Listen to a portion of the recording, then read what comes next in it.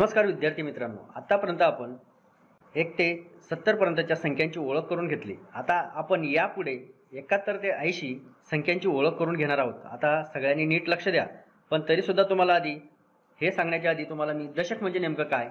तर बघा आपण एक दशक दोन दशक म्हणजे काय? ते आपण शिकलो होतो पण तरीसुद्धा तुम्हाला सांगतो हे बघा इकडे लक्ष द्या. ही एक दशक दांडी आहे. पण हिला दशक दांडी का म्हणतात? तर बघा याच्यावर असे दहा ठोकळे आहेत बघा. या पद्धतीचे आता हा माझ्या हातात एक ठोकळा आहे. असे दहा ठोकळ्यांचा ही एक काडी आहे म्हणून हिला एक दशक दांडी म्हणतात. बघा आता एक दोन तीन चार पाच सहा सात आठ नऊ दहा. अशा दहाची एक दांडी असते आणि म्हणून हिला एक दशक असे आपण म्हणतो. आता आपण लक्ष देऊया आणि आता आपण सात दशक घेऊया. तर बघा हा एक दशक दोन दशक तीन दशक चार दशक पाच दशक सहा दशक आणि सात दशक. आता किती घेतलं आपण? सात दशक. सात दशक आणि हा त्यावरती एक. म्हणजे किती? सात दशक एक एकक एकाहत्तर. मग कसं लिहितात? तर बघा सात दशक एक एकाहत्तर. आणि यालाच नावामध्ये कसं लिहितात? बघा नीट लक्ष द्या. एक्काहा एकाहत्तर. सात दशक एक एकक एकाहत्तर. व्हेरी गुड आता आपण पुढचा अंक घेऊया. सात दशक दोन एकक बहात्तर. त्याच्या आधी आपण ठोकळे घेऊया. एक दशक दोन दशक तीन दशक चार दशक पाच दशक सहा दशक सात दशक आणि हे मोकळे एकक. एक आणि दोन. सात दशक आणि दोन एकक. मग कसं लिहितात? तर बघा. सात दशक आणि दोन एकक. सात दशक दोन एकक बहात्तर. आणि त्याचं नावामध्ये कसं लिहितात? नीट लक्ष द्या. बहा बहात्तर. बहात्तर. सात दशक दोन एकक बहात्तर. आता आपण पुढचा अंक घेऊया. आधी आपण सात दशक घेऊया. एक दोन तीन चार पाच सहा सात. किती दशक घेतले? सात दशक आता तीन एकक घेऊया. एक दोन तीन. सात दशक तीन एकक कसं लिहितात? तर बघा. सात दशक आणि तीन एकक सात दशक तीन एकक त्र्याहत्तर. नावामध्ये कसं लिहितात? तर बघा. त्र्याहत्तर. सात दशक तीन एकक त्र्याहत्तर. व्हेरी गुड आता अजून पुन्हा आपण पुढच्या संख्येसाठी घेऊया. सात दशक एक दोन तीन चार पाच सहा सात. किती दशक घेतले? सात दशक. आणि एकक किती घ्यावं लागतील आता? एक दोन तीन चार. चार एकक घेतले. मग लिहिताना कसं लिहायचं? हे सात दशक आहे म्हणून सात दशक आणि एकक किती घेतले? चार. सात दशक चार एकक चौऱ्याहत्तर. आणि त्याचं नावामध्ये लिहिताना कसं लिहायचं? चौऱ्याहत्तर. बघा नीट लक्ष द्या. चौऱ्याहत्तर. सात दशक चार एकक चौऱ्याहत्तर. आता आपण पुढचा अंक घेऊया.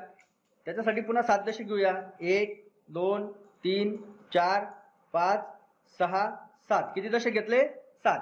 आता पुढचे किती एकक घ्यावं लागतील? पाच. एक दोन तीन चार पाच.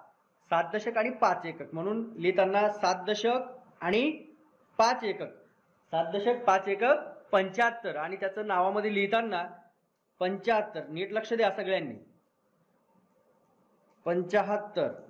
सात दशक पाच एकक पंच्याहत्तर. हे नावामध्ये याचं लिखाण केलं आपण. आता आपण पुढचा अंक घेऊयात. त्यासाठी पुन्हा अजून सात दशक घेऊयात. एक दोन तीन चार पाच सहा सात. किती दशक घेतले? सात. सात दशक घेतले. आता एकक किती घ्यायचे? तर बघा सहा एकक घ्यायचे. एक दोन तीन चार पाच आणि सहा. किती एकक घेतले? सहा. मग दशक आहेत सात. म्हणून सात दशक आणि सहा एकक. सात दशक सहा एकक शहात्तर. त्याचं लेखन करताना कसं करायचं नीट लक्ष द्या? शहात्तर. सात दशक सहा एकक शहात्तर. आता आपण पुढचा अंक घेऊया. त्यासाठी पुन्हा सात दशक घेऊया. एक दोन तीन चार पाच सहा सात. किती दशक घेतले? सात दशक आता पुन्हा किती एकक घ्यायचे? सात एकक. म्हणून एक दोन तीन चार पाच सहा सात. बघा सात दशक घेतले म्हणून सात लिहिला मी. एकक किती घेतले? सात. म्हणून तो सुद्धा सात लिहिला. सात दशक सात एकक सत्याहत्तर. आणि त्याचं नावामध्ये लिखाण करताना कसं लिहायचं? नीट लक्ष द्या.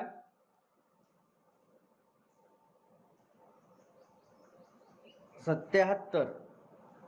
सात दशक सात एकक सत्याहत्तर. पुढचा अंक घेण्यासाठी पुन्हा सात दशक घेऊया. एक दोन तीन चार पाच सहा सात. आणि आता एकक किती घ्यायचे आहेत? आठ. म्हणून एक दोन तीन चार पाच सहा सात आठ. आणि लिखाण करताना सात दशक घेतले म्हणून सात. सात दशक आणि एकक घेतले आपण आठ. सात दशक आठ एकक अठ्ठ्याहत्तर. आणि त्याचं नावामध्ये लिखाण करताना अठ्ठ्याहत्तर. सात दशक आठ एकक अठ्ठ्याहत्तर.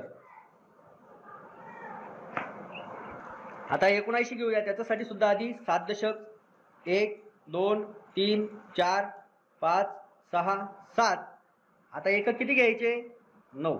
म्हणून एक दोन तीन चार पाच सहा सात आठ नऊ. आता दशक किती घेतले आपण? सात. आणि एकक किती घेतले? नऊ. आणि म्हणून सात दशक नऊ एकक एकोण ऐंशी आणि त्याचं नावामध्ये लेखन करताना नीट लक्ष द्या. एकोण ऐंशी सात दशक नऊ एकक एकोण ऐंशी आता राहिला ऐंशी. ऐंशी घेताना आपल्याला काय करावं लागेल बरं? बघा आता अजून पुन्हा आपण सात दशक घेऊया. एक दोन तीन चार पाच सहा सात. किती दशक घेतले? सात दशक. आणि आता एकक किती घ्यावं लागतील? दहा. तर बघा एक दोन तीन चार पाच सहा सात आठ नऊ आणि दहा. दहा एककांचा काय होतो? एक दशक. एक गठ्ठा तयार होतो त्यांचा. आणि म्हणून काय तयार झाला तो एक दशक पूर्ण तयार झाला म्हणून तो आपण त्याच्याऐवजी पूर्ण एक दशक घेऊया. तर बघा हा एक दशक. आता दशक किती झाले? एक दोन तीन चार पाच सहा सात आठ. आठ दशक झाले ना? आणि एकक किती घेतले आपण आता? एकही नाही. म्हणजे काय? शून्य. म्हणून आठ दशक शून्य एकक ऐंशी. आणि त्याचं नावामध्ये लेखन करताना सुद्धा ऐंशी. आठ दशक शून्य एकक ऐंशी. लक्षात आलं ना? तुम्ही पुन्हा पुन्हा व्हिडिओ बघा आणि एकाहत्तर ते ऐंशी लेखनाचा